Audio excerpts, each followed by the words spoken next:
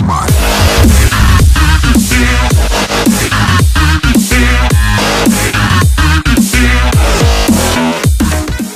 Uh, It's called Arms Day, so uh, there's new weapons, and that's just a warlock helmet. I don't need that.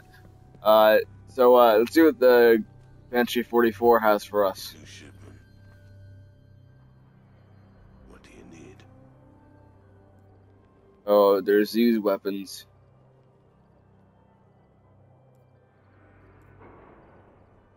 They're test weapons. You test them out uh, for the. Uh, uh, I'm gonna test a pulse rifle. Yeah, that fits.